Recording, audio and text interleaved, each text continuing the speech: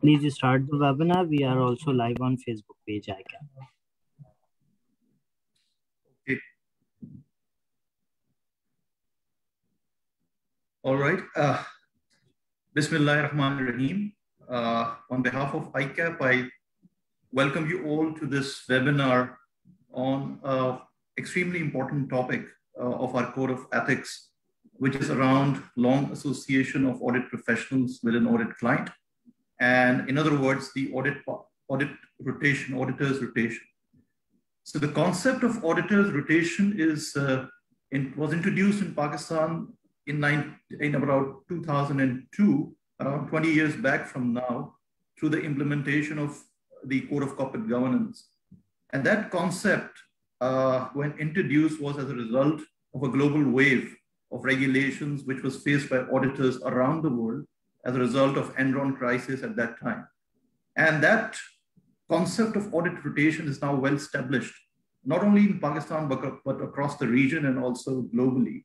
Uh, to what extent the audit rotation contributes to the audit quality is, is, is something which is, a, is still a subject of professional debate globally and, and also uh, in, in circles in Pakistan. Uh, but it is also a fact that the IFAC recognizes that audit auditor rotation is something which is which is essential and necessary uh, for the profession.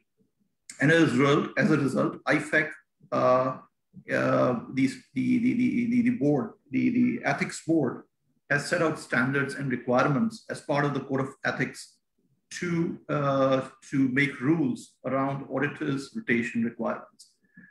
Uh, there are certain advantages of audit rotation. Uh, you know, those who argue for audit rotation believe that you know after a certain time it is effect it is in the interest of the audit quality that a fresh eyes look at the audit, uh, a fresh perspective is provided to the client in terms of the judgments that have been taken on the audit, and that helps improve the audit quality.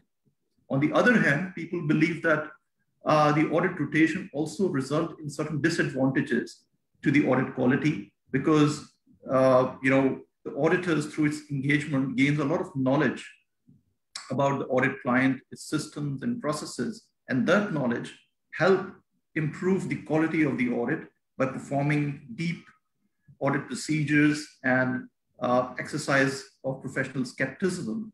And that helps improve the audit quality because of a deep understanding uh, of the auditor about the internal controls and systems. And that knowledge is lost when the auditor is rotated after a certain period of time. But at the end of the day, uh, the IFAC believe that after a certain period, it is, it is, it is required of the auditors to be rotated off uh, to, to reduce the threat which is caused by the familiarity with the audit client. Uh, the, in addition to the IFAC Code of Ethics, many countries have made rules around audit rotation, including Pakistan. And in many cases, those rules and regulations are more stricter than the IFAC Code of Ethics. Uh, the purpose of this webinar today is to, is to take you through the ICAP's Code of Ethics requirements around auditors rotation. And recently, a year back, uh, ICAP has also made certain changes to those requirements as a result of the changes made by the International Ethics Board of IFAC. Uh, and those changes now provide a more detailed guidance on the requirements of auditors rotation. And in some way, uh, those requirements are extended. Say, for instance, previously requirements revolved around only the engagement partner. Now those rotation requirements also encompass the engagement quality reviewer partner as, as well. And there are many other complexities which may be caused uh, because of the practical situations faced by the audit practitioners when those requirements are applied. So the purpose of this webinar today is to provide you an overview uh, on all those requirements and particularly the practical aspects uh, and the situations which may be faced and what are the answers to those situations. ICAP has also published a very good document of uh, FAQs, which answers many of the questions and which discusses many of the practical situations uh, which may be faced by the audit practitioners. So in this webinar today, we have uh, uh, a very experienced speaker, uh, Yusra Zubairi. She's associated with A.F. Ferguson's and Company, and uh, she has a wide experience around the quality and risk management function uh, of the firm. And she will provide us uh, with, a, with a presentation uh, on the auditor's rotation requirements in the code of ethics of ICAP uh, uh, as it stands today. And then followed by the presentation, we have a very experienced panel of audit professionals uh, comprising of four different partners of different firms. we have with us Asim Nazir from Asim Nazir and Company. Then we have Khurram Jamil from GG Anjum Asim. We have Naresh Kumar from Yusuf Adil and Company. Uh, and the panel discussion will be moderated by Yusra. And following the panel discussion, we also have a question answer session uh, of about 30 minutes where we'll take uh, the feedback and questions and comments from the audience. And we'll try to answer as many questions as are possible within the time frame that we have. And to conclude the session, we have uh, Mr. Rana Osman, uh, who is the chair of the Auditing Standard Committee of the ICAP, and, uh, and we'll request him to conclude the session with his remarks. So with that, I think uh, it's time for me to hand over to Yusra to, to start her presentation and enlighten all of us around the rules. Thank you. Yusra, over to you. Thanks, Arsalan.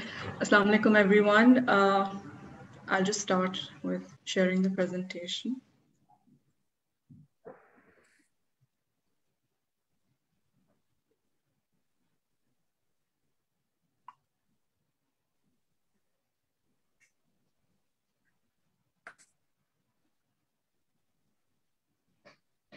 Okay, I welcome all of you. Uh, in today's session, as Arsalan explained, we will be discussing the audit partners rotation, which is uh, laid out uh, in the ICAP Code of Ethics. So uh, ICAP issued its Code of Ethics uh, for chartered accountants, uh, which is referred to as the ICAP Code 2019. It is based on the IESBA code, which is issued by IFAC uh, which has been enhanced to cater to the local requirements wherever they are more stringent. Section 540 of the ICAP's code uh, details the requirements and application guidance for long association of personnel with an audit client, which is uh, pertaining to the audit partner rotation requirements applicable in Pakistan. Now, Section 540 applies to all audit clients and has specific requirements for public interest entities, which are, which are more restrictive.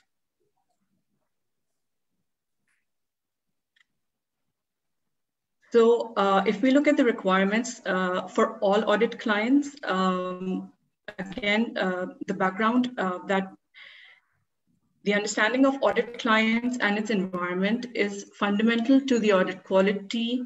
Firms are required to assess the following risks which can arise due to the long association. The first one being familiarity threat, which might be created due to an individual's long association with the client and its operations, the senior management, and the financial statements and financial information that forms the basis of the financial statements. Self-interest threat might also be created, which is the result of an individual's concern about losing a long-standing relationship with the client. Such threat might in, influence an individual's judgment inappropriately. Factors that are relevant to evaluating the level of such familiarity or self-interest threats can be seen in the next slide.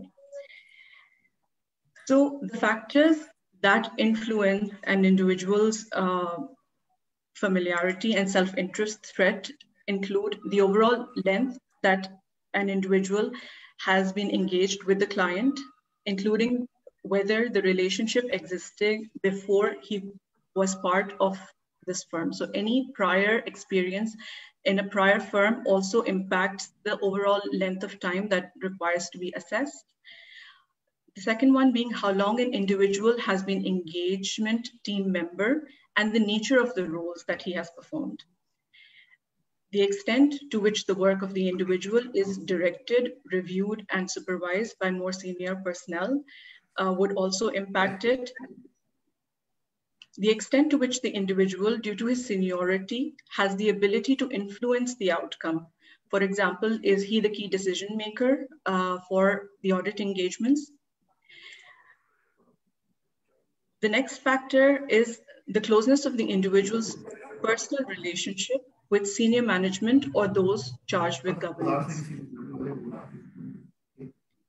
Another risk factor would be the nature, frequency, and extent of the interaction between the individual and senior management or those charged with governance. So how frequently uh, and uh, you know on uh, the extent uh, of the interactions are. The nature or complexity of the client or those charged with how frequently uh, and uh, financial reporting issues and whether they have changed over the past years. Whether there have been any recent changes in the senior management or those charged with governance, whether there have been any structural changes in the client's organization which impact the nature, frequency, and extent of the interaction of the individuals. Again, uh, a combination of these risk factors, if more than one exists at a particular client, they would increase or decrease the risk. For example, if the risk is created by a closeness of an individual partner's personal relationship with the senior management, for example, that risk is sometimes mitigated or reduced when that individual, of course, uh, uh, is no longer associated with the client. So again, a combination of these risks or uh, uh, can either increase or decrease the overall familiarity and self-interest threat. Again, uh, these threats will be eliminated by audit rotation. But there are also some safeguards that firms can place in, uh, against these threats. These safeguards would include changing the role of an individual on the audit team or the nature and extent of the tasks that are performed by that individual. Having an appropriate reviewer who is not an audit team member to review the work of an individual and performing regular and independent internal and external quality reviews of the engagements. All these are examples of safeguards uh, that would uh, reduce the threats. Now let's look at, uh, we discussed earlier that the code sets out specific requirements for public interest entities. So let's just step back and have a look at which companies uh, or which clients would qualify as public interest entities. So public interest entities would include listed companies or unlisted companies where they are public sector companies that are defined in the Act whether they are non-banking financial companies, which are asset management companies, pension fund managers, REIT management companies, or deposit-taking NBFC. It also includes Modaraba companies, insurers, stock exchanges, commodity exchanges, central depository and clearing houses. It would include banking companies, including foreign banking companies, microfinance banks, DFIs, and the recent addition of all companies engaged in the production and sale of sugar. So these are the companies where the requirements would be more stringent, which we are going to discuss in the next stage. So let's have a look at the requirements for public interest entities. So the roles uh, which are to be considered are that of an engagement partner, an engagement quality control reviewer, and any other key audit partner roles. In that, the code specifies that the time on period for an individual in his individual capacity or in a combination of roles. So that means for a single role or a combination of such role cannot exceed seven cumulative years unless the law prescribes a shorter period. Now, in case that an individual who has served in only any one of the above roles the individual uh,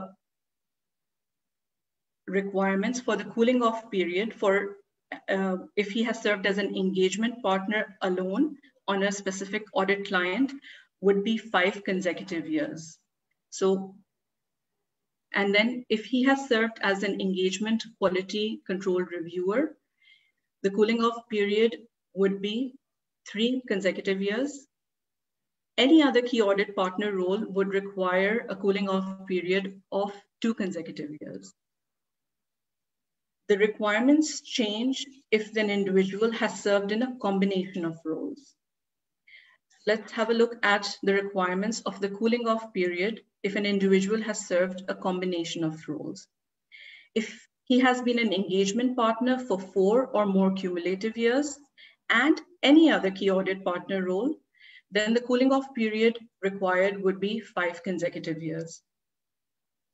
If the individual has served as an engagement quality control reviewer for four, year, four or more cumulative years and any other key audit partner role, then the cooling off period required would be three consecutive years.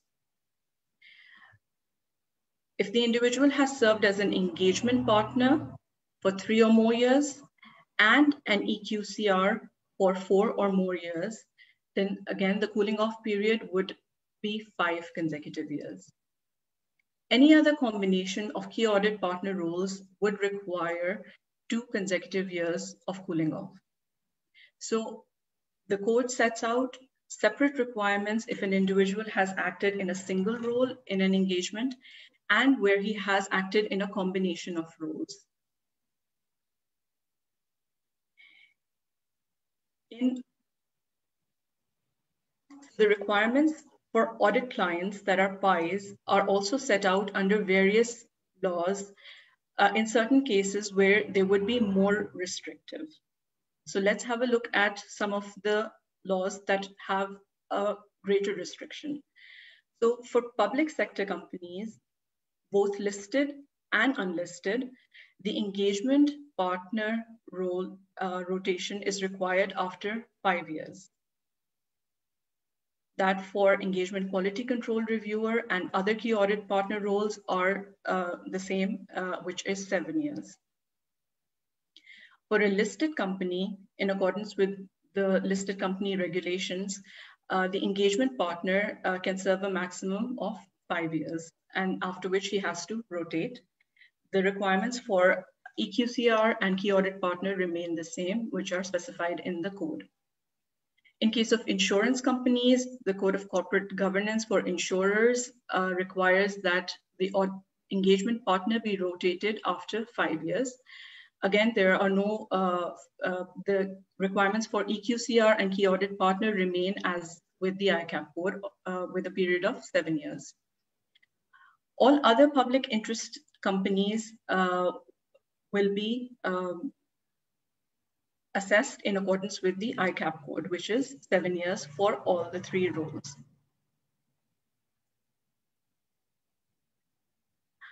Some of the other factors that should be considered is that in calculating the time on period, the count of years should not be restarted unless the individual ceases to act in any one of the roles discussed for a minimum period. The minimum period would be a consecutive period at least equal to the prescribed cooling off period, which we have discussed earlier.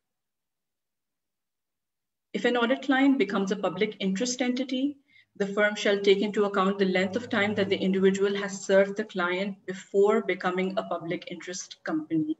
So at the time of the company uh, becoming a public interest company and the key audit partner uh, partners association with that client in the past would also be considered in making this assessment.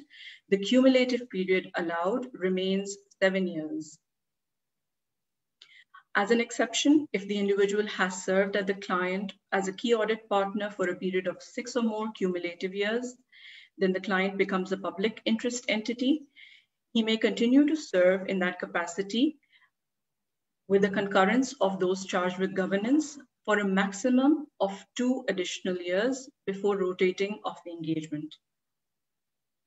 When a firm has only a few people with the necessary knowledge and experience to serve as the key audit partner on the audit of a public interest entity, the code requires that uh, the rotation might not uh, be possible unless the independent regulatory authority in the relevant jurisdiction has provided an exemption from the partner rotation.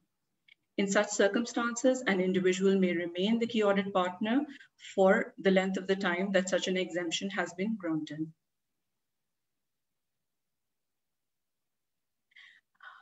Again, uh, for single uh, audit, uh, for sole proprietorships, uh, often uh, there is a query with respect to the requirements of audit rotation and how they can fulfill the requirements because the CCG uh, 2019 requires that audit firm, if uh, which is the sole proprietor, uh, is supposed to be uh, rotated after five years. The SECP has clarified that the requirements to change sole proprietor audit firm is applicable as and when the period of five years is completed after the promulgation of the CCG regulation, which is the 25th of September. So for example, an audit firm, which is a sole proprietor, was appointed as the auditor of the financial, of a non-financial sector company in 2017. It has to be rotated after in 2022 in compliance with the regulations.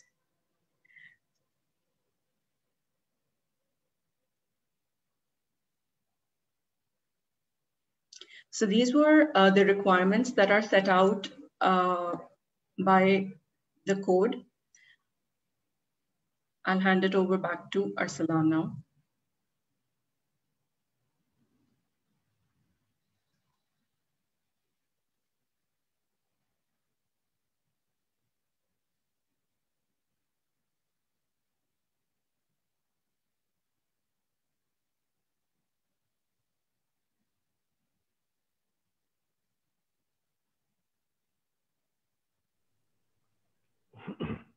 Arsalan, are you there?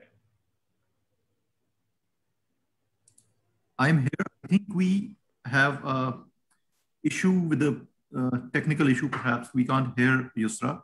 So request IT to, to look into that, please. But uh, Yusra has uh, ended his, her presentation actually. Now he has given back charge to you so you can take over for panel discussion. Okay, so I has uh, something more to offer. Anyways, I think we, I think it was a, sorry, just let me. Okay. Sorry.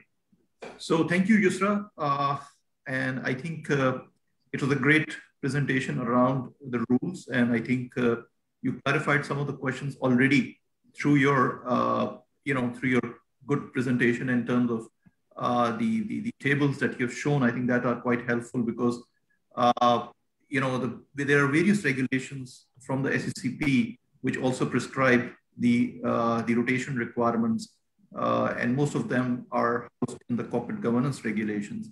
And the interplay of those regulations with the IFAC and the ICAP Code of Ethics is very important, particularly the definition of public interest entities. I think that uh, remains uh, in some cases quite judgmental because we have uh, uh the legal definition of a public interest entities from the Companies Act, then uh, and, and then the IFAC and the ICAP code prescribes that the listed entities and plus any other entities which by the law are designated as public interest uh, are should be should be considered as a public interest entity for the purposes of uh, the the ICAP code of ethics. So it is important to understand what the legal requirements are in terms of the definition of public interest entities. The recent addition, as you mentioned, is the sugar companies, which have been added by SECP as part of the definition of listed entity, as part of the definition of public interest entities. Uh, so uh, with that, I think uh, it's, it's, it's time now to, to move to our panel uh, for a discussion around these regulations and rules and what are the practical situations uh, which may be faced uh, to implement those rules and what can be done uh, to provide more guidance to our members on the audit aspects. So these are the angles which, and and and and and um, and I think most importantly, uh, I think uh, we would also look forward to the comments of the panelists around their own experience of how uh, the auditor rotation has uh, contributed to the audit quality aspects, uh, and and and what what are the issues that are faced because of the auditor's rotation? For example, uh, with entities which are quite specialized, and, and, and, and, whether or not regulatory uh, intervention in terms of more elaborative regulations is required to, to, uh, to, to address such kind of situations. So anyways, I think uh, the, the discussion would be moderated by Yusra. So I will I, will invite Yusra to to to take from me and uh, moderate the discussion. Sure, thanks, Arsalan. Uh, so um, I welcome the panelists. Uh, let's start off with um, a general discussion around uh, the benefits of the auditor rotation, the limitations and practical challenges that auditors are facing in complying with the rotation requirements. So if uh, you could all, um, you know, give us your experience with uh, this fact. Okay. Okay, so uh, Bismillah So this is Khurram Jamil. So uh, I think uh, we first need to understand that uh, why there are different types of rotation requirements for different partners. And we would also agree that uh, the engagement partner of any uh, audit engagement is more prone to the familiarity and self-interest So that's why the court has introduced more stringent requirements for rotation rules for the engagement partner as compared to the EQCR and the other key partners. So coming back to the, to, to the benefits of rotation, I think this is quite simple that it will improve the independence of uh, the partners and the firm by reducing the self uh, self threat and familiarity threats. And as uh, Arsalan also mentioned that when fresh eyes will be coming for audit. So that will definitely improve the transparency of the audit. However, in my view, there are certain limitations for this uh, rule also. Now, uh, as you also mentioned, uh, just in the presentation, that uh, if there if there is sole uh, partnership from a single member firm, or even if there is an audit firm uh, which has less number of partners, I, I think there it will be a challenge because they have invested in, in an audit client, and after five years, that audit client will have to be rotated. Plus, I would also say that uh, if uh, in case of a specialized industry, for example, a, a, larger bank, even for a larger audit firm, this could be a challenge. Now, because the that firm has also invested for five years for, uh, for to, to audit that uh, that larger bank or any other specialized industry, and uh, if they lose that client, and I think that the, the loss of the, the knowledge might also impact the, the client also, because when the new auditors will be coming, so uh, it is a possibility that timing issues, uh, they could face timing issues. And, uh, but, uh, and I also feel that in Pakistan, because we have a special restriction on, on the financial services what I was uh, reading the different jurisdiction requirement, I think Pakistan has one of the most strict regulations as compared to other regulation, uh, other countries. In European Union, the, the requirement is 10 years. In, uh in, in UK, the requirement is also 10. But in Pakistan, this is five years. So I, I, I will I will say that this this is a mix that we have some benefits also and there are some limitations also. Okay. Yeah, I okay. I want to add something here. What Khurram has mentioned already. Yes, we have uh, requirements which are a bit strange compared to the other countries. Like if we look at the code, it itself code says that the requirement for public interest trust entity should be seven years. But here in Pakistan, we have a requirements of five years for rotation of partners, and in case of the banking sector, we have a requirement to rotate the firm even after the five years. Here, I want to add something. There are some industries in Pakistan which are highly regulated. They are, uh, I think so, independent parties who are monitoring their aids, but still they are facing a such type of requirements like a mutual fund industry. If we look at the mutual fund industry, they have a rotation requirements of the firm after five years, but their operations are simple compared to the banking industry. And uh, like their activities are more regulated compared to the banking industries or sorry, under listed entities. So in this case, it seems this, this is my personal view, that the requirements are a bit stringent. Here, the regulator may consider that instead of rotating the firm after the five years, this rotation period can be seven years, or it can be bring to the, I think so, the change in the partner instead of changing in the firm. Even in certain mutual fund industries like a pension fund, we have a requirement to change the auditors after three years. So these are the certain requirements which seem, in my view, a bit stringent for the local industry where the operations are simple and straightforward, but these requirements are in the practice. As far as uh, changes are concerned in rotation, yes, we see that okay, because when there is a long relationship of the auditors with the firm, there are chance, there may be chances of the collusion with the management and uh, with the auditor. They that may cause. I think, uh, Yusra, we, yeah, please. Yeah, that may cause. I think.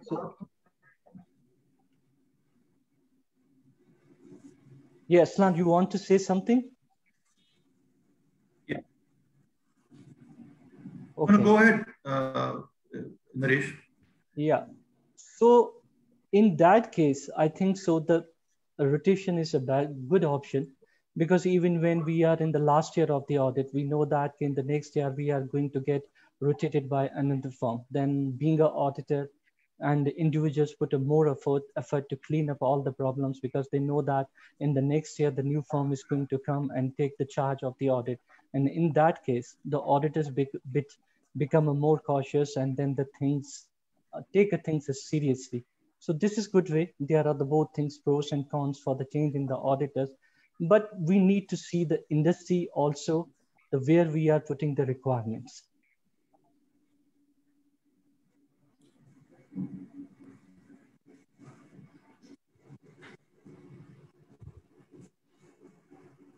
Sure. Uh, Asim, would you like to add?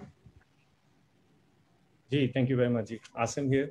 Uh, thank you, Yusra, for a very um, wonderful, sharp, and crisp presentation on uh, Regulation 540. Uh, coming to your question, uh, and uh, Arsalan also set the tone at the beginning that actually the need for audit rotation has been a topic of discussion following various major corporate failures in recent years. There has been a general perception that in many cases of corporate collapses, the accounting firm was too close to the audit client and had failed to detect the warning signs of collapse for the client to take appropriate preventive measures. Uh, therefore, it was suggested that there should be a regular change in the individuals who perform the audit of a client company. Um, again, this should prevent the auditor from becoming too familiar with the client and key members of the client staff as a result of developing a long and comfortable relationship. So, uh, you know, audit partner rotation has been adopted in most countries. And, uh, but however, firm rotation is not very visible to the world at large. It is implemented in some countries like in Pakistan and for public interest entities and uh, financial institutions, it's been for uh, five years. And for public interest entities, other than financial institution, audit partner rotation is sufficient. But for uh, financial institutions and other certain institutions, accounting firm rotation is uh, mandatory. So, you know, as far as I can think of the major argument in favor of accounting firm rotation, it definitely improves the public perception of independence and it so may increase confidence in the quality of external audit. So this is the biggest uh, argument in favor of accounting firm rotation. And, uh, you know, as correctly pointed out by Khurram and elaborated by Naresh as well, that definitely it comes with certain practical limitations and some hindrances. You know, they, uh, let me give you my point of view that uh, there may be some negative effects on audit quality and effectiveness in the first year following a change. So first year is very critical after the change. Uh, this is because the new auditors may take several years or some time to familiarize themselves with their new client and its procedures. And let me share with you, there is some evidence to suggest that there may be a higher instance of audit failures in the first year following a change of auditors. Yeah. And if this evidence is valid, let me say it again, and if this evidence is valid, um, the connection between company failures and a change of auditors might reflect an inability on the newly appointed auditor to identify problem in the client company. You know, this is very important. And there are also substantial costs from changing auditors regularly as the auditor attempt to familiarize themselves with the new client. So more management time is also needed to assist the new auditor to learn about the client company, its operations, and its systems. So uh, these are my points, uh, you know, regarding this audit firm, audit partner rotation, uh, benefits and some practical limitation. Over to you, Yusra.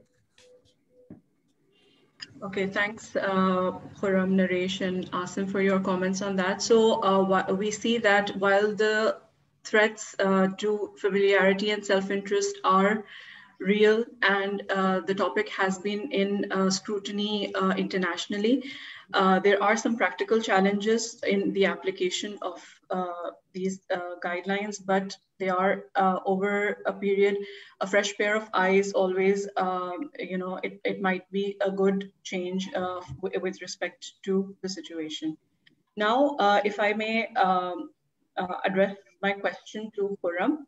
Uh, Khurram, with respect to the time on and cooling off periods uh, that are referred to in the code, uh, with respect to those, if you could clarify whether they refer to financial year or calendar years. And are all key audit partners subject to the same time on and cooling off periods? Okay, so uh, the first, uh, uh, answer the first question, very simple, that the, the term year means the financial year of the of, of any entity, the calendar year. Meaning if the year 30th June is the financial year, so that would be considered for rotation. Or if December any specialized year, so that year would be considered uh, for the rotation. Okay, so uh, as far as the time period is concerned, you also mentioned in your presentation that the basic principle is, is same, like seven years is the time on period for any engagement. However, if there are certain requirements, and meaning in Pakistan, there are certain requirements. For instance, in uh, in case of financial services, the I think the partner rotation is not applicable because the firm has to be rotated, rotated after five years. But in case of listed uh, companies in, in the code 2019, so the requirement is that uh, the partner can be rotated, rotated after five years. So meaning engagement in terms of the time period for engagement partner for, for uh, listed entities, it would be five years. Okay. And uh, in terms of the EQCR and the other key audit partner, any other key audit partner, the maximum time is seven years. So the only change, uh, I, I, would say that because there are strict rules in Pakistan, so the engagement partner cannot be uh, cannot serve as an engagement partner for more than five years uh, in any case. Now, the new concept in this code is regarding the cooling off period. So the, the cooling off period for engagement partner is two years. For uh, quality reviewer partner is, uh, uh sorry, engagement partners is, is years. For EQCR is three years and any other key audit partner is two years. So one important concept here is that this cooling off period be consecutive years, meaning if, uh, if in the last seven years, the a partner has been serving as an engagement partner and he or she has taken breaks uh, for in year two or year four. So that would not be considered as a cooling off period. So the cooling off period would be from year uh, 19, 20, 21. and similar, the similar concept would also apply for EQCR and uh, and uh, other partners. So there has to be a uh, there has to be consecutive years. And uh, in terms of the time on period, time on period uh, meaning that the, engage, the engagement partner has served for, uh, for five years in the last seven in the last seven years. So that will be considered as a time on period. So the the only difference is that the cooling off period should be consecutive, and the time on period is uh, doesn't need to be consecutive years. Thanks, Khurram. Uh, so I'll direct my next question to Naresh. Uh, Naresh, with respect to uh, audit engagement partner of subsidiary moving to the audit of a listed parent company. So okay. if an audit partner has completed five years as an engagement partner on the audit of a subsidiary of a listed company, is the audit partner required to complete any cooling off period before participating in the group audit of the listed company? Yeah. So before responding, we have to see that okay, what is the role of our engagement partner of subsidiary with regard to the audit of the parent entity. If we if we know that okay, that engagement partner is key audit partner for the also the for the audit of the parent entity, and uh, then in such case, what I understand that the requirement of the cooling period will be applicable, and uh, as Khurram mentioned already, for the cooling off period for the key audit partner is two years. So if you are a key audit partner from the group point of view, and you are also doing the subsidy, then the group, the cooling off period should be two years for him. The second situation can be that his subsidiary also itself is a listed entity and it is a material to the parent entity. So if these two conditions are met, in that case, the requirements for the key audit partner will be of the five years. But in other cases, I think so that these requirements of the cooling off period may not be applicable. But as you highlighted in your presentations earlier, there are certain safeguards and there are certain other indicators which can cause a independence issue. So before deciding, those factors should be considered and maybe safeguards should be understood before any decision is reached. Thanks, Naresh. So, um, Asim, if we could uh, just touch upon the cooling off period. Uh, so, for example, an engagement partner for the audit of a listed company has uh, served for five cumulative years in that role with the completion of the calendar year 2017 audit. The individual has subsequently not participated in 2018 and 2019 audits. Would he be able to come back as the engagement partner for the 2020 audit? Thank you, Yusra. Yes, this is a very practical and relevant question, and we get this a lot. Uh, uh, you know, uh, we need to see the applicability date of the revised Code of Ethics 2019. It is applicable from 1st July 2020. And before this, the Code of Ethics 2015 was applicable, under which cooling off period of two years was required. So as per your question, if uh, engagement partner has served for five cumulative years of a listed company, for 2000 up to 2017 audit. And then he cooled off for 2018 and 2019. In that, in those years, Code of Ethics 2015 was applicable. So under previous code, he has cooled off and complied with the requirement of previous code. So, you know, now he can come back to 2020 audit and can, he can be an engagement partner for new five-year time on period under new code. So that is the uh, answer here. Right. So um, if I can just follow that up with uh, another scenario, for example, that the engagement partner uh, of a listed company has served for five cumulative years with a completion in 2019 audit. So how long would the cooling off period be in that uh, instance? Yeah, you know, it means that 2019 audit was completed under previous code and under previous code two year cooling off period was required. But meanwhile on 1st july 2020 new code of ethics is now applicable. So now that partner needs to comply with the cooling off period under new code of ethics. So he needs to cool off for five years now and then you know he can come back and uh, for another five year term. So previous code is now not applicable anymore he has to comply with the new code, new call period, which is five years, and then he can start the audit again. Uh, Yusra, I have some uh, questions from the audience as well. Yes. Uh, so the question for uh, Naresh is that in case of an NBFC, uh, which is also registered as a Section 42 company, uh, how the rotation requirements would apply. So NBFC, also a Section 42 company, I think maybe uh, he's talking about maybe a microfinance institution or similar entity, because normally an NBFC is not a Section 42 company. Yes. So that's a question for Naresh. But Arsalan, what I understand from your question, NBFC, you have uh, mentioned that it's a more like a microfinance bank. Okay. So I think so. The for microfinance bank, correct me if I'm wrong, that the requirement will be should be five years for the rotation of the firm, because uh, microfinance bank is treated like a rotation requirement for the bank. So the rotation requirement should be five years. Uh, I think the principle is that whether or not this entity falls under the definition of a public interest entity. So if it's a public interest entity, which uh, because of a registration as NBFC, uh, it falls under definition of public interest entity because any entity which has a similar independence requirements or uh, applicability of the code of corporate governance uh, would be treated as a public interest entity. Yeah. So in that way, uh, they may be subject to the rotation requirements. The other and, question uh, is that how, yeah, like, like because I think NBFCs are by default will come will come in under the public interest entity. So meaning uh, yes, that's what. Yes. Yeah. Okay. Okay. And and and, uh, and, and the other questions are around. Yeah, sorry. Uh-huh. Go ahead. So you said about microfinance bank, financial institute. So he will be audit firm rotation, not the partner. So five year yeah. audit firm will be rotated. Just to make it clear. Yeah.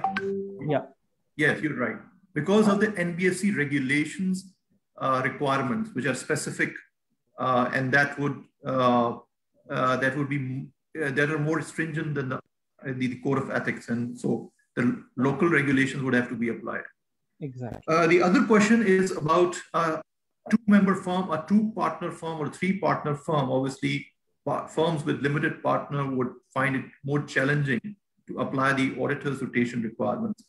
So, so the question is, how do you see uh, the, the, the, the implementation of these requirements for a firm which has only two or three audit partners? And uh, what is the requirement of the court uh, for such firms? And I think question. So, Arsalan, so, so you Asim, are talking. Uh, is for you. Okay. Uh, so no, I think uh, Yusra covered this point under you yes. know her presentation. It, uh, regulation 540.9.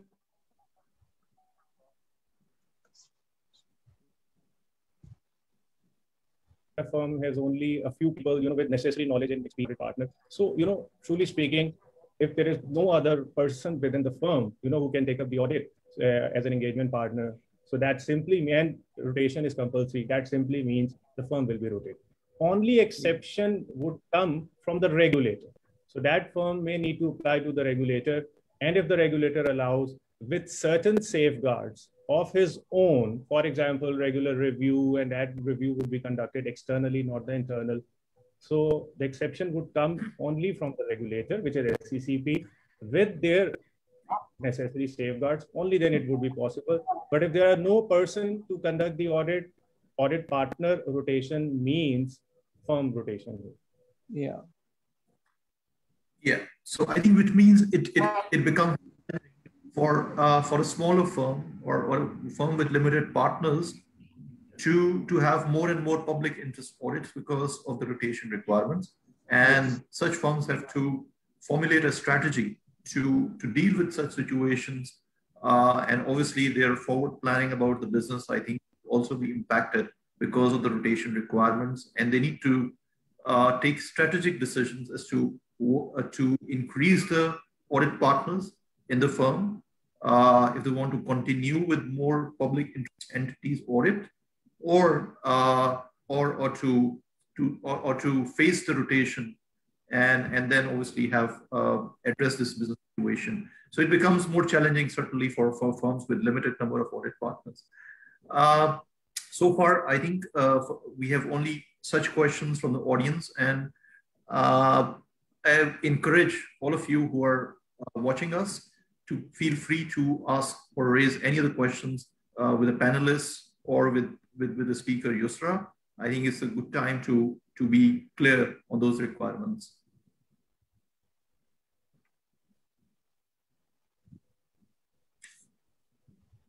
So I think uh, we can continue with our, Yusra. In the meantime, yeah. we may receive certain questions, yeah? Sure. So um, I'll address my next question to Khurram. Uh, let's discuss, uh, about the correlation of roles with respect to audits of subsidiaries. Uh, so if an individual has served as an engagement partner for the audit of a listed company for five years, and another individual has been the engagement partner of its subsidiary for five years, what is the cooling off requirements for both these individuals? Okay, so the, the cooling off requirement for the parent auditor is very simple because you mentioned listed entity. So the cooling off period should be five years. Now, in uh, if we see the the engagement partner for subsidiary, so there could be two scenarios. Now, if subsidiary is also listed, so meaning the cooling off period will be five years. If the subsidiary is not listed, and uh, so there will be no cooling off period requirement as per the code. However, uh, the firm can definitely uh, introduce uh, its own self-interest threats and familiarity threats Okay, having said that, I think uh, there could be a possibility that the subsidiary, now we have to see that if that subsidiary is material for the parent in of the group audit. So if, and if we assume that uh, uh, it is material, so the engagement partner of subsidiary will become a key audit partner for the group. So in that in that uh, uh, concept, so he will he or she will have to uh, go for a cooling off period for two because he will he will become the key audit partner and the cooling off period for a audit partner is two years. Okay, thanks for clarifying that, Khurram. Uh, Naresh, uh, can you explain to us how breaks in service affect determination of the time on and cooling off periods for an engagement partner, the uh, engagement quality control reviewer, and any other key audit partner for a listed company? Yeah, Yusra, thank you, thank you for this question. We हमें थोड़ा सा इस तरह देखना चाहिए कि यार जो रिक्वायरमेंट ऑफ कोड की है वो कूलिंग ऑफ पीरियड जो है और टाइम ऑन पीरियड दोनों में थोड़ा डिफरेंट है। अगर कूलिंग ऑफ़ पीरियड शॉर्टर है ब्रेक बीच में आ जाता है then that cooling off period will not be considered for example individual is engagement partner for four years then he is take in a one year off वो किसी भी health के इश्यूज़ की वजह से या किसी भी रीजन की वजह से एक साल ऑडिट नहीं कर पा रहा। And then again he becomes a engagement partner so during the period of the six year he has been an engagement partner for five years but एक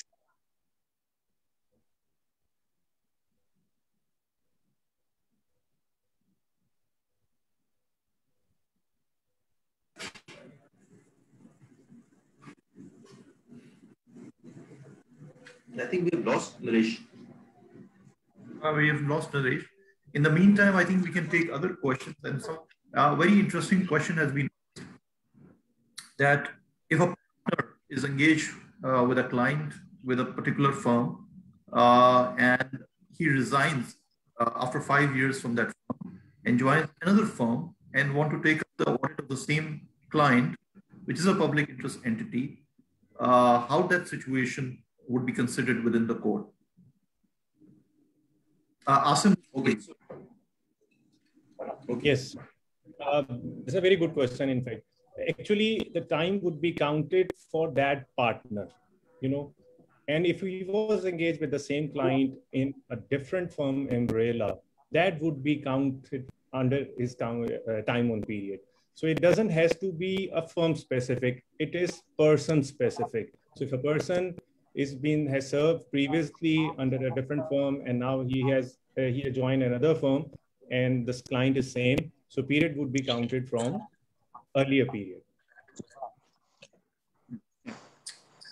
Okay. So i think uh Naresh, we lost you. Please continue.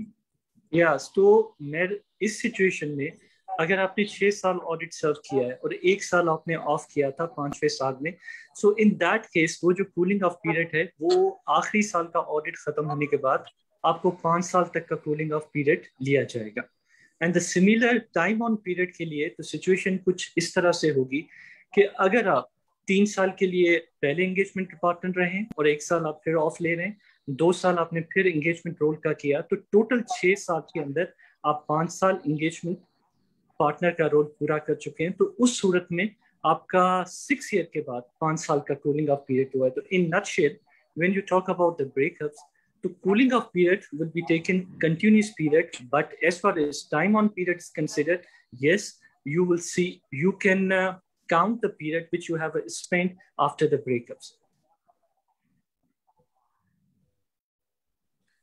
Thanks, Naresh. Yes, so the important thing is that uh, the time on period is cumulative and the cooling off period uh, is always considered consecutive. So it has to be spent uh, at a stretch. Yes.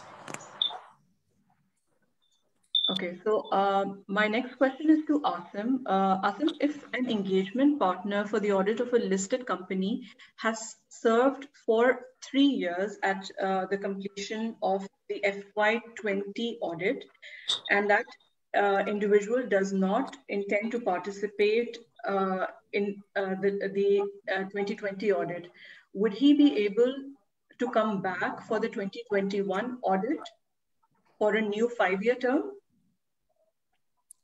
Okay, thank you, Yusra. Thank you for this question.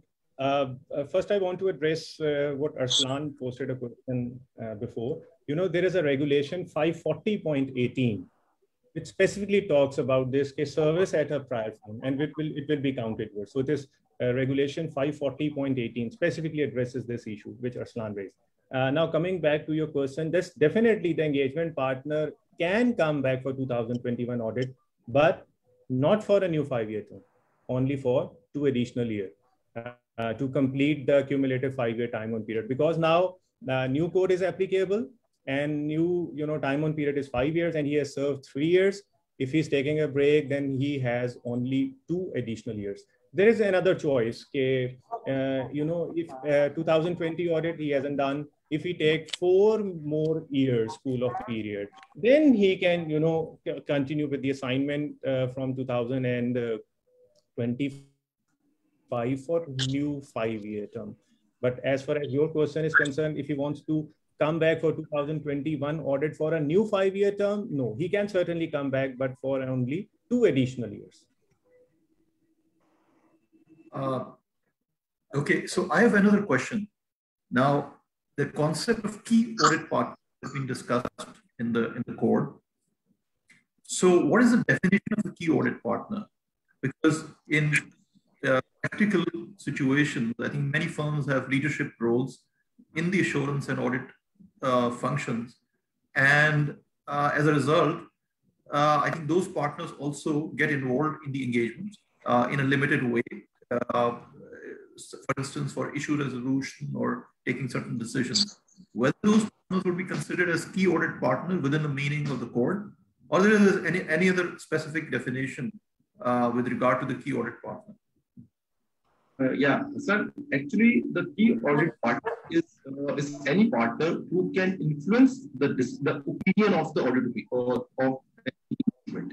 So, uh, if, if, what you are if you are referring that if uh, if a partner who is uh, who is in charge of audit department, if he or she can influence the the opinion of the or the engagement partner, then he will be considered as the key audit partner.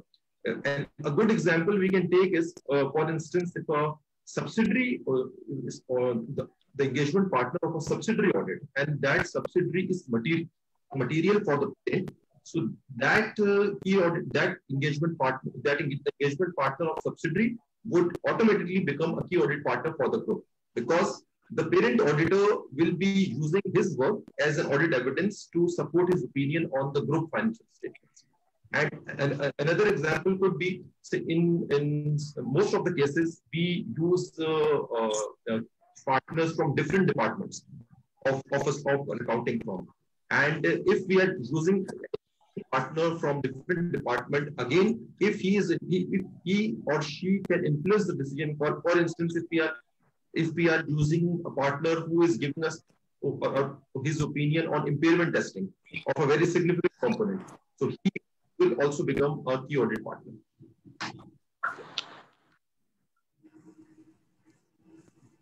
All right. So I think we, uh, Fahim, we, we have other question, any other additional questions? Yes, Sir Salan, I have emailed you. Okay. So I have, uh,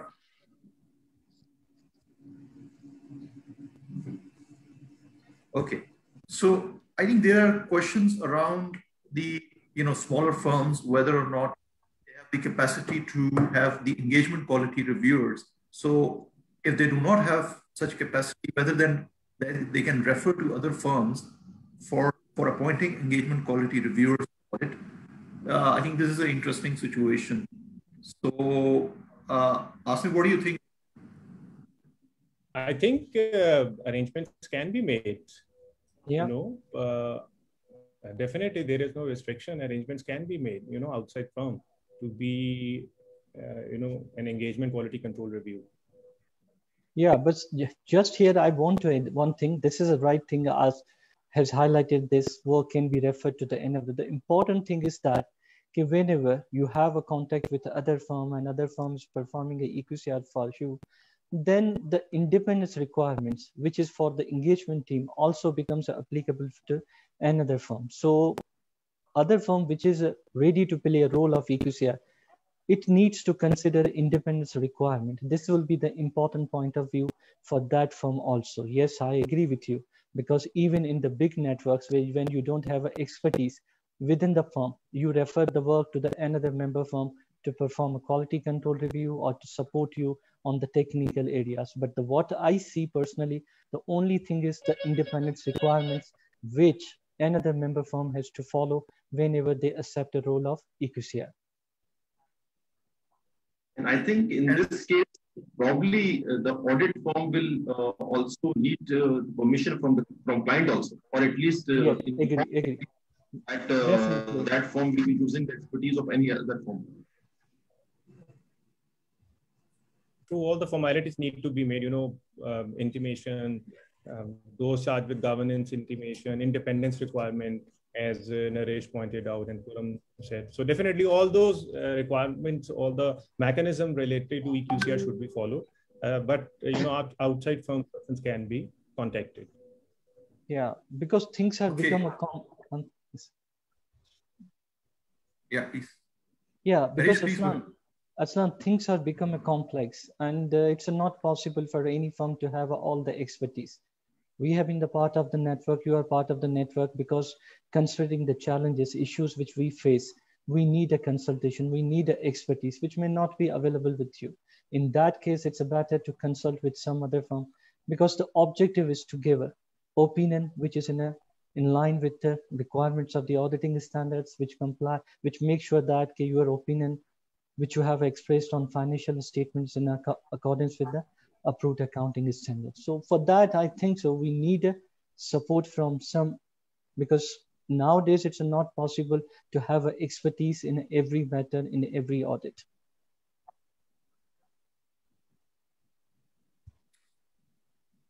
All right, I think this is uh, quite interesting. And uh, uh, one of the situations that somebody has raised is about a bank that uh, they have completed the five years period with a bank audit. And three years cooling off uh, period uh, has also been completed. And now the bank wants to appoint the same back. Uh, the state bank regulations and requirements do not uh, specifically prescribe for any of the cooling off period. So whether or not they can accept that appointment. And Naresh, I think this is for you. Yeah, I think so, Arsalan. They here the cooling of requirement is for the engagement partner for the five years, what I understand from the code. So after the three years, the firm can be appointed, yes, as the in the bank, but looking at the code and looking at the, this ICAP code, the cooling of requirements the five years, then what I understand, maybe you have a different view. The engagement partner can be the different, but the same firm can be appointed for the audit of the bank. Yes, I, I think uh, this is correct because the firm can take up the engagement, but they can appoint another engagement partner to uh, to to, uh, to follow the cooling off and the rotation requirements. So as a firm, there is no restriction yeah. on uh, taking up that appointment. And as regards the, somebody also commented that because uh, you know the client also expects uh, the, the the value addition the auditor based on the knowledge that the auditor gains as a result of uh, continuous engagement or involvement over years. So when you are rotated off, then obviously that knowledge is no more available to the client. And as, a result, the client may be able to benefit from the advice on the internal controls, on other areas that uh, they may be looking for. And that's one of the disadvantages of the uh, audit partners rotation, that uh, that cumulative knowledge is, is, is in some way lost for the client and also for the firm. And, uh, and for with, with extended cooling off period of five years, uh, certainly that knowledge cannot be used for next five years and, uh, and that becomes redundant. And therefore, uh, the, the local regulations that we have in Pakistan, uh, five-year period and rotation requirements, which are more stricter than the global code of ethics, needs to be looked at in that perspective. Maybe uh, whether or not uh, there, there are any disadvantages as a result of the rotation rules that are prescribed by the regulations and how uh, that interrelate with the uh, basically the audit quality objectives. Yeah. So that is a fair point, I, I would say, uh, that's been raised. Uh, but certainly, I think the rules are made after considering all those uh, points and prongs.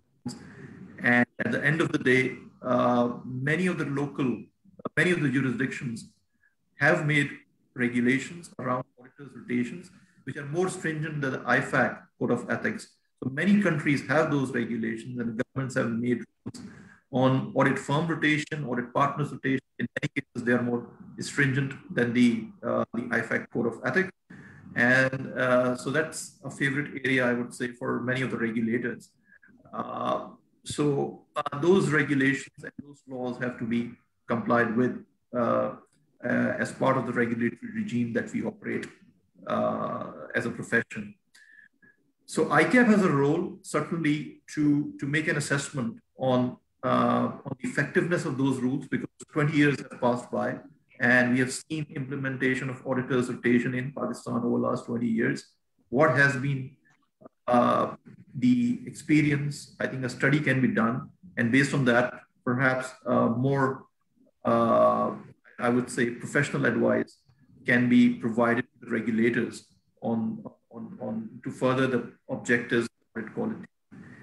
So, uh, Farheen, if you have I just one, one, one more thing I want to add with the point of the Arsalan. Arsalan has uh, highlighted rightly ICAP can uh, read the rules and they can uh, provide advisor to the regulator, especially in case of mutual fund industry, like a pension fund, I don't understand personally. This is my view. ICAP may have a different views. Where the require, rotation requirement is of three years, I think so. You need a first one or two years to understand the business and everything, and you get a learning curve after the two or three years investment, and suddenly after you get uh, rotated after three years. So these requirements seem to be more stringent from the client point of view and from the firm point of view these should be considered at the some forum and uh, the recommendation should be provided to the regulator. I think uh, since you have raised a mutual fund, I think there is another aspect which needs to be considered because the requirement is for each individual firm uh, to rotate, rotate auditors. So as a result, what happens is uh, asset management company has five different firms with different yeah. auditors. Yeah, Whereas you have a same system of internal control, you have a same knowledge.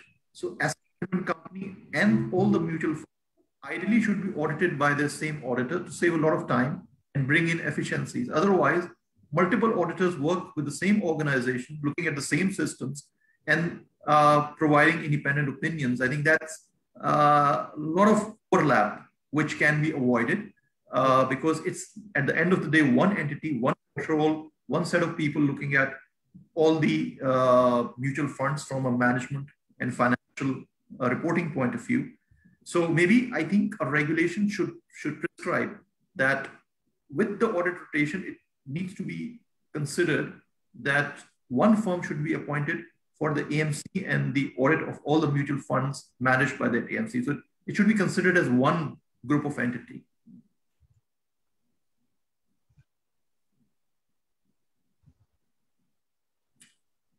So, okay.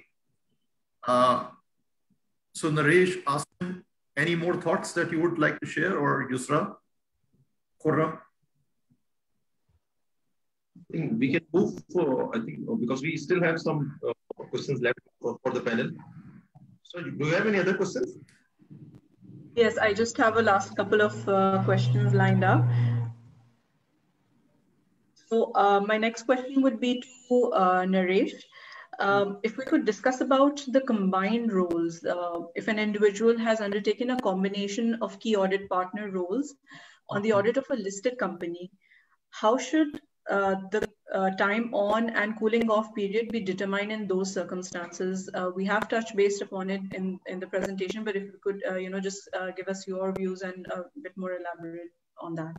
Yeah, thank you, Yusra. Once again, I think so. You covered it in your presentation, but again, देखिए जब आप दो roles या तीन roles कर रहे हैं किसी भी ओवर द पीरियड हमारे पास मैक्सिमम जो रिक्वायरमेंट आई है वो सात साल की आई है तो उसमें आपको ये देखना पड़ेगा कि मैक्सिमम पीरियड आपने किस रोल पे लगाया suppose again I am looking to coat you some example like we are taking a period of the seven years and out of the seven years some individual has played a role of key audit partner for five years and two year as an engagement partner, I think so. Then in that case, you are uh, required to follow the requirements of the cooling period, which are applicable for the key audit partner तो उसमें जो आप maximum period लगा रहे हो किसी भी role के ऊपर तो उसको आपको कंसिडरेशन करना पड़ेगा to determine the cooling off period अगर आपने पाँच साल एज ए की ऑडिट पार्टनर लगाया है और दो साल इंगेजमेंट पार्टनर तो उस सूरत में आपका कूलिंग ऑफ़ पीरियड वो होगा जो की ऑडिट पार्टनर का है।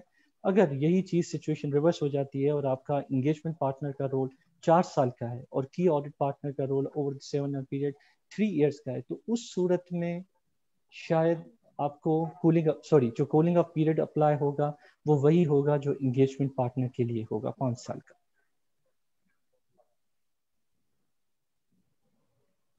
Thank you for that. Um, so, Asim, uh, my uh, next question would be uh, for you. Uh, if we're if we were to talk about the restrictions during cooling off period, uh, for example, uh, 2019 was the seventh year that an individual has served as the key audit partner uh, on the audit of a listed company. Then he commences the cooling off period starting uh, with the 2020 audit. Uh, how should the provisions regarding additional restrictions during the cooling off period be applied? thank you, Yusra, for this question revised code of ethics 2019 has addressed this uh, very elaborately के cooling off period में हम क्या क्या काम नहीं कर सकते क्योंकि ये इतना एड्रेस नहीं था इशू बस ये था कूल ऑफ़ करना है। बट कूल ऑफ़ करने का क्या मतलब? भाई स्विमिंग पूल में चले जाना है हमने और स्विमिंग करनी है कूल ऑफ़ करना है। Cold shower but you know इस क्लाइंट के पॉइंट ऑफ़ व्यू से बात यहाँ पे ये यह हो रही है कि इस क्लाइंट से रेलेवेंट हम कूल ऑफ़ में क्या क्या हमारे लिए रिस्ट्रिक्शंस हैं? हम क्या क्या काम कर सकते हैं? क्या क्या काम नहीं कर सकते रिस्ट्रिक्शन तो रिवाइज कोड बहुत अच्छे तरीके से पूरा एक सेक्शन है रेगुलेशन 540.20 और उसने वो रिस्ट्रिक्शन इम्पोज की हैं कि कूल ऑफ़ पीरियड में एक जो की ऑडिट पार्टनर है, वो क्या क्या काम नहीं कर सकता। For example if I can name few मतलब उसमें यह कि he can not be an engagement team member at all not even quality control review ठीक है? तो वो ना वो एंगेजमेंट टीम का मेंबर बन सकता है ना ही वो क्वालिटी कंट्रोल जो है वो देख सकते हैं उस एंगेजमेंट की। और फिर और आगे ये 540.20 जाते हैं और वो ये कहते हैं कि हम इवन एंगेजमेंट टीम जो करंट एंगेजमेंट टीम है उसके साथ कोई कंसल्टेशन भी नहीं कर सकता ये जो प्रीवियस की ऑडिट पार्टनर है। रिगार्डिंग कोई भी टेक्निकल कोई इशू है इंडस्ट्री स्पेसिफिक हो ट्रांजेक्शन स्पेसिफिक हो, जिसका उस ऑडिट एंगेजमेंट के ऊपर अफेक्ट पड़ता हो तो इवन कंसल्टेशन भी जो है वो रिस्ट्रिक्टेड है डिसअलाउड है। और इससे भी बढ़ के एक और चीज़ हो कि अगर यहाँ ना लिखी होती तो शायद हम सबका एक डिफरेंट पॉइंट ऑफ़ व्यू होता, उसमें डिफरेंट एक होती कि what about non assurance services क्या कूल ऑफ़ पीरियड के अंदर एक जो की ऑडिट पार्टनर जो कूल ऑफ़ कर रहा है क्या वो उस क्लाइंट के लिए नॉन अश्योरेंस सर्विसेज़ के साथ लिंकअप हो सकता है कि नहीं हो सकता? तो अगर ये चीज़ यहाँ लिखी हुई है, जो कि मैं भी डिस्कस करता हूँ, अगर ये ना होती तो ये सब्जेक्ट टू ओपिनियन हो जाता। शायद मेरा कुछ और ओपिनियन होता, आपका कुछ और होगा डिफरेंट लोगों का कुछ और होगा।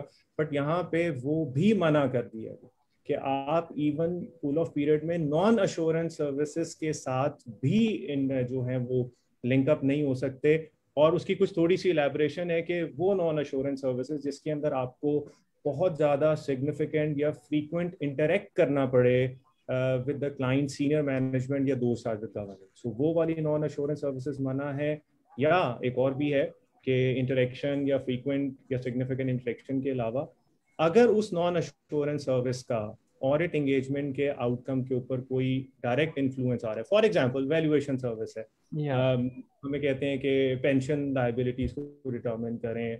प्रॉपर्टी uh, की वैल्यूएशन है कुछ इस किस्म की नॉन इंश्योरेंस सर्विसेज़ तो क्या उसमें हम हो सकते हैं? नहीं इसमें फॉल कर जाएगा क्योंकि पेंशन लाइबिलिटीज का यू नो रिवैल्यूएशन सर्विसेज़ का प्रॉपर्टी प्लान इक्विपमेंट का डेफिनेटली ऑडिट एंगेजमेंट के आउटकम के ऊपर एक इफ़ेक्ट है क्योंकि एक मटीरियल और सिग्निफिकेंट अमाउंट है और अगर वो कूल ऑफ़ पीरियड में एक प्रीवियस की ऑडिट पार्टनर ने उसके ऊपर वो सर्विसेज़ परफॉर्म की है तो ये कोड उसे रिस्ट्रिक्ट करता है तो बहुत अच्छे तरीके से 540.20 के अंदर ये सारी रिस्ट्रिक्शन जो हैं बहुत अच्छे तरीके से डिफाइंड हुई हैं and now there is no room for any controversy I would say Uh, I think I just want to add one thing. I think uh, Asim has uh, uh very rightly explained this. Uh, I think there's only one exception in this. Like if the engagement partner of the last year, the team can consult him. Like if any issue was uh, was present in the last year file in the last year audit, and that issue yeah. also is, is, is, is, a, is a current issue for the current year. So only he can be consulted for those.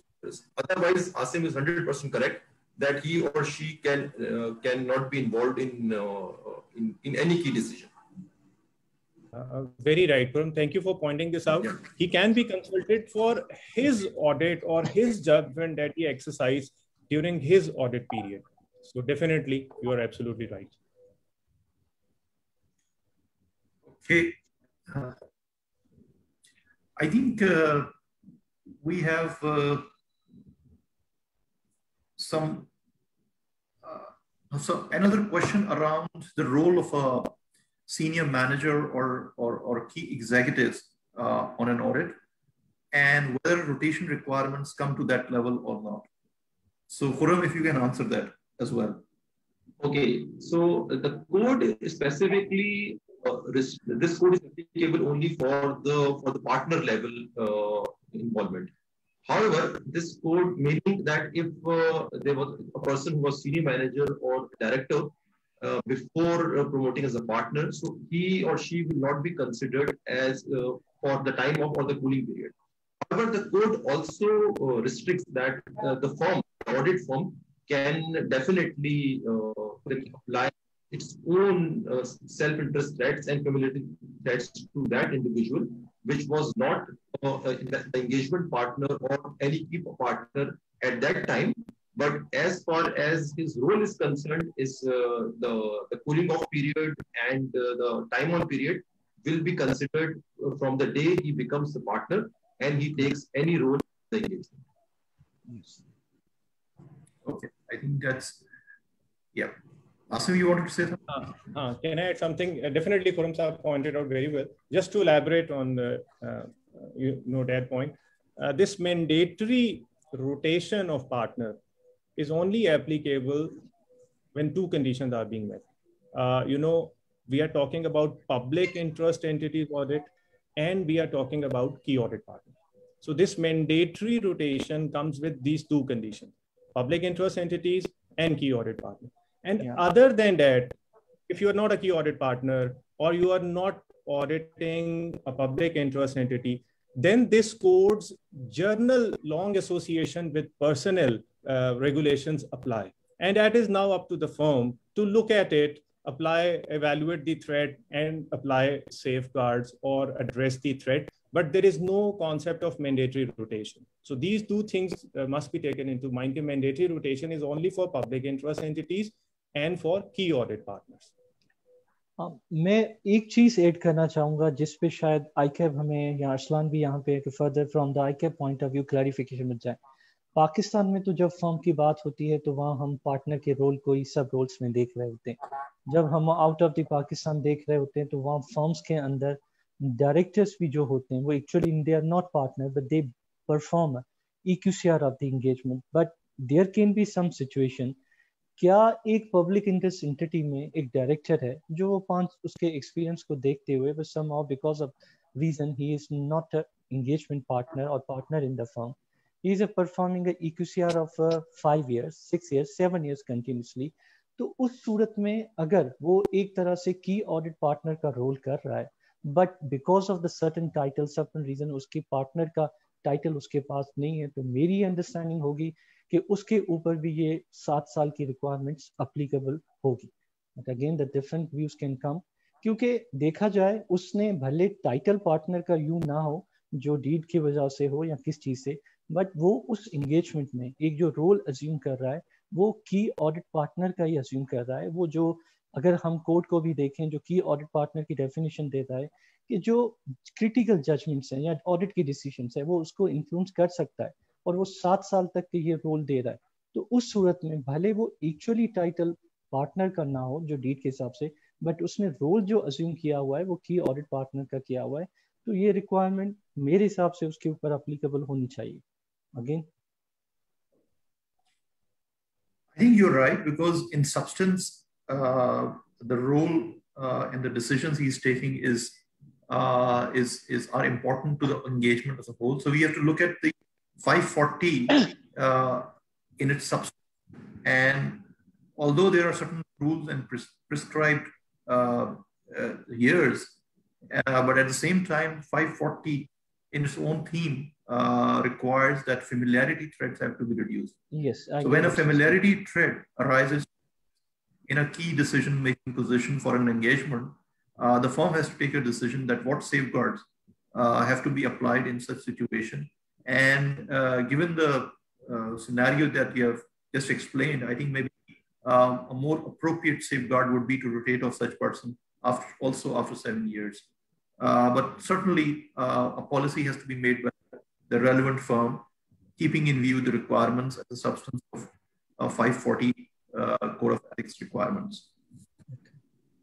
Because I think uh, under the, okay. under the current mandatory rotation will not be applicable for that individual. So the, it, it will depend upon on the firm's uh, policies only. Yes, I think, and, and I, we know that many of the firms have made such policies, and they uh, they basically uh, apply rotation requirements to, to the key executives and director level uh, people as well. In practice, obviously. Uh, so, uh, uh, Yusra, you have uh, other areas to for the panelists? No, um, I've, I've covered my questions with that were to be addressed to the panelists. Yes. And Fareen, you have, we have any more questions from the audience?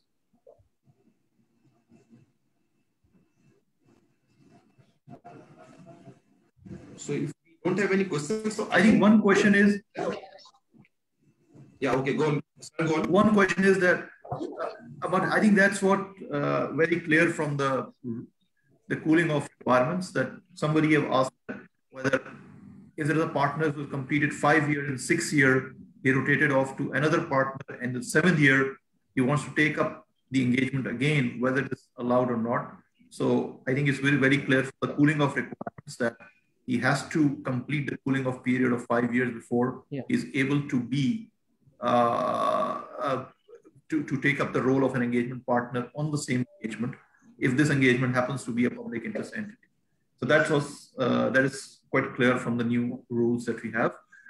Uh, I think we will have a, a lot of uh, other questions when we uh, when we implement these requirements practically in years to come.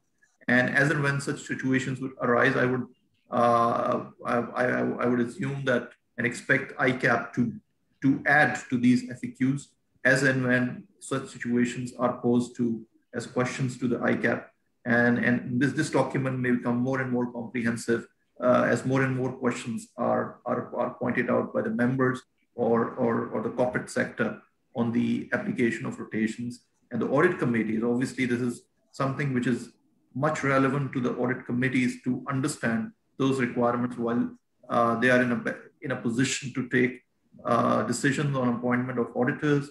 And it is also uh, uh their responsibility to make sure that the rotation requirements are complied with. So uh, it's not only the audit firms and the auditors uh, who have to comply with these professional requirements. These requirements are part of the corporate regulations, governance regulations, and those regulations apply to the uh, corporate entities and companies.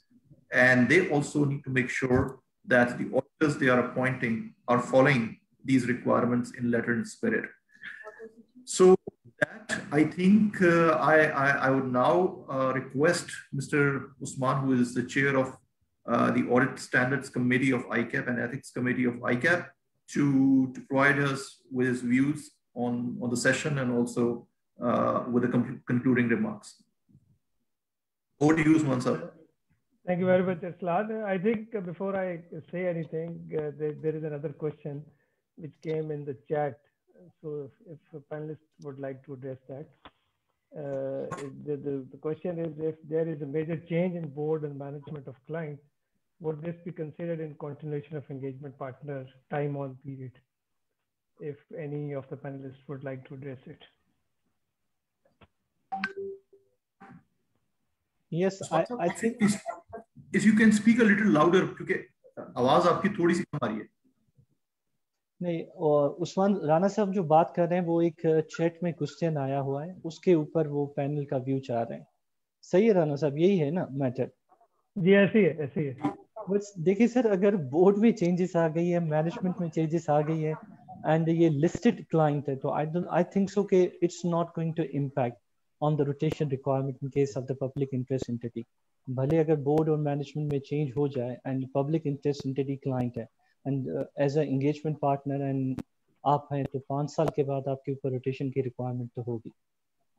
That's my view okay मेरा मेरा view भी नरेश यही है basically this is this is something which is being asked और yeah, एक okay. दो आजकल issues आए हुए हैं क्योंकि वो जब हमारा क्यू बी जाता है ना क्यू क्वालिटी एश्योरेंस वाले लोग तो ये चीज़ आती है कि जी अच्छा तो हम रोटेशन तो रिक्वायर्ड थी बट वहाँ तो shareholders change हो गए थे so there was a big change in the management shareholders so all together there was a change so why we were required to be rotated क्योंकि हमें तो familiarity थी with the previous owners and uh, management so it's all together new management owners so the, we have no familiarity that मेरे हिसाब से why, why should we be reported sir हम opinion financial statement पे दे रहे हैं management की quality या कैरेक्टर के ऊपर नहीं दे रहे ऐसे ही ऐसे आई थिंक फारूक का क्वेश्चन एड्रेस हो गया this is not change of the management. Rana sir, there is uh, one more question we have received for, through Facebook Live. Uh, participant ha is, uh, has asked uh, what would be the penalty of violation of ICAP code if we don't follow the requirements of audit partner rotation. आप इसको बेहतर edit कर सकते हैं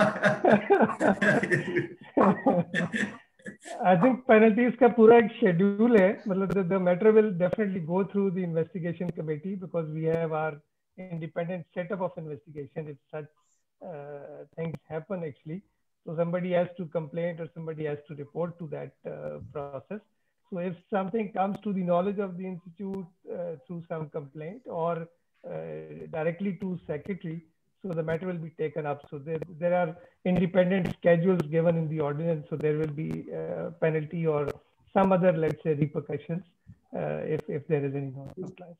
Because code of ethics, once adopted by the institute, is, is part of the directives and the regulations. So our members have to uh, comply with the code of ethics as they are required to or we are required to comply with the ordinance, other directives, ATR. So it's it's equal to that. So if there is any non-compliance, so then definitely there is repercussions uh, for that non-compliance given in the schedule or in the law. So we have to go through that. Uh, this this is from the ICAP, and if something happens from SECP, that will be in addition to that. So वो bonus hoga agar SECP ne koi action le liya, So this will be in addition to what ICAP can do. Okay, Farin. if there is no other question, so we can sum up. Uh, excellent uh, session. Uh, uh Yusra, uh, for your great presentation. Uh, Arsalan, Asim, Naresh, Khurram, excellent panel discussion. Ladies and gentlemen, the, the attendance, of course, their participation has made it a great session, I would say. I वैसे ऐसा expect नहीं कर रहा था because partner said to be something specific to firms. So looking at the participants, looking at their participation, their questions, uh, and the way it has been handled, uh, you have again very effective coordination with, with the panels. So overall, this has been a great session in my view. Uh, and we are hoping to have uh, many more such sessions uh, on, on the court like this and inshallah better than this. मैं थोड़ा सा इस topic से हट के थोड़ा general एक बात करना चाह रहा हूँ because being part of the governance of ICAP कुछ फंडामेंटल्स हैं I think which should be highlighted मेरी जो जनरेशन है, अब माशाल्लाह मैं तो अब नरेश को छोड़ के बाकी सब यंग जनरेशन देख रहा हूँ पैनल में और स्पीकर तो आप डेफिनेटली हमारे बाद आए हैं। तो हमारी जनरेशन को भी जो इनहेरिट हुआ from our seniors that was के हमने राइट फ्रॉम इंसेप्शन जो इंटरनेशनल बेंचमार्क्स स्टैंडर्ड्स थे we adopted all that and I am thankful to my seniors कि उन्होंने ये ब्रेव डिसीज़न लिया। एंड टुडे अल्हम्दुलिल्लाह we are at par with many jurisdictions जो कि शायद डेवलपिंग जो कंट्रीज़ हैं और इकोनॉमीज हैं, वहाँ के जो अकाउंटिंग बॉडीज हैं, वो उस तरह से एट पार नहीं है इंटरनेशनल प्रैक्टिस के द वे वी आर इसमें इंटरनेशनल फाइनेंशियल रिपोर्टिंग स्टैंडर्ड्स भी हैं ऑडिटिंग स्टैंडर्ड्स भी हैं and similar is the situation with the ethical standards ethical standards भी हमने डे वन से अडॉप्ट किए और ओवर द पीरियड जैसे जैसे एथिकल स्टैंडर्ड्स में एवोल्यूशन होता गया हम भी उसके साथ इवॉल्व होते गए। लास्ट uh, जो कोड था यस uh, yes, जो करंट कोड है ऑफ़ कोर्स हमने थोड़ा लेट अडॉप्ट किया। Uh, उसकी भी एक रीजन थी because there was one change which was introduced earlier which was NOCLAR actually और नौकलार के ऊपर बहुत सारी चीज़ें क्लैरिटी में नहीं थी। तो वी टुक सम टाइम और फिर जब नौकलार के साथ कंबाइन होके नया कोड आया तो then definitely we made an effort और जो एक हमारा प्रोसेस है auditing standards committee then council after thorough deliberation हमने उस कोड को अडॉप्ट uh, किया और उसमें definitely what was required to to be incorporated in addition to what has been prescribed internationally because हमारी कुछ uh, stringent uh, requirements अपनी भी हैं like हम फ़ी के ऊपर बहुत स्टिंजेंट हैं ऑर्डिनेंस हमारा उसमें बहुत सारी चीज़ें रिस्ट्रिक्ट करता है एडवर्टीजमेंट पब्लिसिटी पे हम बहुत हद तक रिस्ट्रिक्टेड हैं दुनिया काफ़ी ओपन कर गई है ऑल दो in a graceful manner of course uh, ethical code में जो uh, limits prescribed हैं uh, they are reasonable and professional but of course हम ज़्यादा restricted हैं तो वो सारी चेंजेस कुछ हमारी अपनी रोटेशन की रिक्वायरमेंट्स ऐसी हैं जो कोड से आती हैं कोड ऑफ कॉर्पोरेट गवर्नेंस से तो after incorporating all that now this document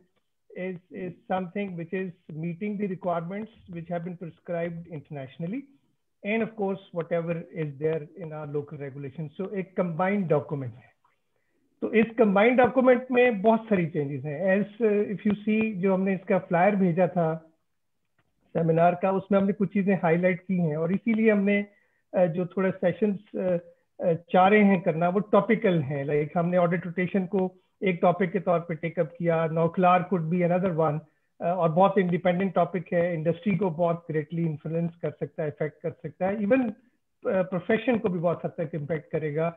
तो आई एम होपिंग कि that is also going to be a good session इसी तरह से इंडिपेंडेंस की रिक्वायरमेंट्स पे बहुत ज़्यादा एम्फोसिस है as compared to the other late से और the previous requirements though independent हमेशा एक बड़ा टॉपिक uh, रहा है कंट्रोवर्शियल टॉपिक रहा है सेंसिटिव टॉपिक रहा है and stakeholders have always been demanding कि जी बहुत स्टिंजेंट किस्म की चीज़ें कर दें और ऑडिटर को फरिश्ता बना दें ताकि वो इंडिपेंडेंट हो जाए। और अगर वो इंसान रहेगा तो शायद वो गलतियाँ करता रहेगा और कंप्रोमाइज करता रहेगा बट डेफिनेटली एक ह्यूमन बींग और फिर एक प्रोफेशन में रहते हुए जो मैक्सिमम पॉसिबल चेंजेस हो सकती हैं we can only do that और उन सबको सामने रखते हुए इस वक्त इंडिपेंडेंस के अगर आप रिक्वायरमेंट्स देखें, बहुत स्टेंजेंट हैं। अच्छा उसमें अगेन कुछ थोड़ा हम इन्फ्लुएंस हुए हैं स्टेक होल्डर से इंटरनेशनली भी। Initially if you look at the code ये एक फ्रेमवर्क टाइप और प्रिंसिपल्स जो है प्रिस्क्राइब करता था कि जी okay within this framework आप एक अपनी सर्टन प्रैक्टिसेस अडॉप्ट कर लें so you will meet the objective लेकिन ग्रेजुअली स्टेक होल्डर्स ने इतना इन्फ्लुएंस किया है अकाउंटिंग प्रोफेशन को इंटरनेशनली आप बाकी स्टैंडर्ड्स में भी देखें आई में भी देखें डिस्क्लोजर रिक्वायरमेंट्स आइजा की रिक्वायरमेंट्स ऑडिट कैरी करने की, इसी तरह से एथिकल स्टैंडर्ड्स में भी. Now it's it's a mix of regulation type of thing directive कि आपने ये करना है, ये नहीं करना। लाइक रोटेशन में बड़ा सिंपल इतने साल के बाद पार्टनर रोटेट कर दो। अब उसकी फेमिलरिटी है या नहीं है? इतने साल से पहले वो वापस नहीं आ सकता। वो हो सकता है उस चीज़ को इन्फ्लुएंस ना कर रहा हो but still it is it has been prescribe तो कुछ चीज़ें फ्रेमवर्क से प्रिंसिपल बेस्ड अप्रोच से निकल के अब रेगुलेशन पे आ गई। तो इसी कॉन्टेक्स्ट में प्रोफेशनल्स की जो रिक्वायरमेंट्स हैं कि वो इन रिक्वायरमेंट्स को अंडरस्टैंड भी करें इसको एम्बेड करें अपनी प्रैक्टिसेस के अंदर so that whenever they think, whenever they, let's say, come up with some proposals, they come up with some uh, solutions or services to uh, their तो यहाँ से उनको हर वक्त एक मॉनिटरिंग और अलार्मिंग होती रहे कि जी आप ये कर सकते हो आप ये नहीं कर सकते हो आप ये कर सकते हो आप ये नहीं कर सकते हो। So this type of activity in my view एक बहुत रेगुलर बेसिस पे करने वाली है। तो हमने बीइंग आई कैप और जो ऑडिटिंग स्टैंडर्ड्स कमेटी है वी मेड आर एफर्ट्स हमने ऑल दो आई फैक्ट ने इस पर बहुत ज़्यादा काम किया है उनकी भी पब्लिकेशन बहुत ज़्यादा अवेलेबल हैं बिकॉज़ दे ऑल्सो फील कि जो इस वक्त कोर्ट की uh, एक सिचुएशन है it's so comprehensive document so comprehensive requirements कि आपको बहुत ज़्यादा सिचुएशंस इनकाउंटर करना पड़ सकती हैं जहाँ पे गाइडलाइन की ज़रूरत होगी। तो उन्होंने भी बड़ी कम्प्रीहेंसिव गाइडलाइंस इशू कर रखी हैं। बट अगेन जो लोकलाइज कॉन्टेक्स्ट में हमारी स्पेसिफिक चीज़ें हो सकती हैं वी आल्सो ट्राइड कि हम एफ़ की फॉर्म में जितना मैक्सिमम गाइडलाइन दे सकें। देर मे बी मोर क्वेश्चंस जिस तरह असलान ने भी कहा, वो क्वेश्चन जैसे जैसे हम इम्प्लीमेंट करेंगे, आते रहेंगे और definitely we are here to provide required guidance क्योंकि at the end of the day institute का ऑब्जेक्टिव यही है कि हमारे members individually firm wide professionally collectively in तमाम स्टैंडर्ड्स की कंप्लायंस करें। अगर हम कंप्लाइंट होंगे तो इंस्टीट्यूट कंप्लाइंट होगा प्रोफेशनल कम्युनिटी कंप्लाइंट होगी और डेफिनेटली हमारी जो रेटिंग और the position where we stand today as far as these international standards are concern will be able to maintain it उसके लिए जो गाइडेंस जो फर्दर आप सपोर्ट समझते हैं कि इंस्टीट्यूट से होनी चाहिए दैट इज़ ऑलवेज वेलकम एफ़ में आप मजीद चेंजेस चाहते हैं डेफिनेटली वो इनकॉर्पोरेट हो जाएँगी। इसी तरह से हमने नौकलार पे इंडिपेंडेंस की और रिक्वायरमेंट्स पे दो तीन सेशंस और प्लान किए हैं। नेक्स्ट दो तीन वीक्स हम रोल आउट करेंगे। सो uh, दैट के जो उसमें अंडरस्टैंडिंग की चीज़ें एटलीस्ट हैं वो एक डिफरेंट व्यूज़ के साथ हम पेश कर सकें आपके क्वेश्चन को आंसर कर सकें। Even if something is needed you can always come to institute through technical department auditing standards committee again एक बहुत वाइड रेंज कमेटी है। uh, उसमें प्रैक्टिस के लोग हैं और ऑल क्रॉस लेट से प्रैक्टिस रिप्रेजेंटेटिव है, उसमें जो आपके इश्यूज़ आते हैं डेफिनेटली हम ट्राई करते हैं कि उसको आंसर किया जाए। तो with all this we'll try कि जितनी मैक्सिमम सपोर्ट और गाइडेंस मेंबर्स को दी जा सके to create awareness to create competency within that and to create that feel के हमें अपनी डे टू डे लाइफ में इसको एम्बेड कर लेना है बेसिकली इसकी रिक्वायरमेंट्स को सो so दैट जब भी आप कुछ सोचें, कुछ करें प्रोफेशनली तो first of all you feel के यार okay this is my conduct ये मैंने करना है, ये मैं नहीं कर सकता, ये मेरा फ्रेमवर्क है so that at the end कोई और आके मैंने बताया कि हमने नॉन कंप्लायंस कर ली है, हमारा अपना इनर हमें गाइड कर रहा हो कि हमें कंप्लायंस करनी है, उसके अंदर छोटे साइज़ की फर्म्स हैं definitely they will also